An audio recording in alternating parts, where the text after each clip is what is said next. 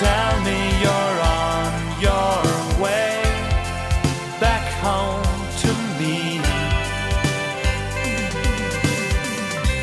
So I'm putting my presents for you underneath the Christmas tree. You better hurry, cause I miss you so much and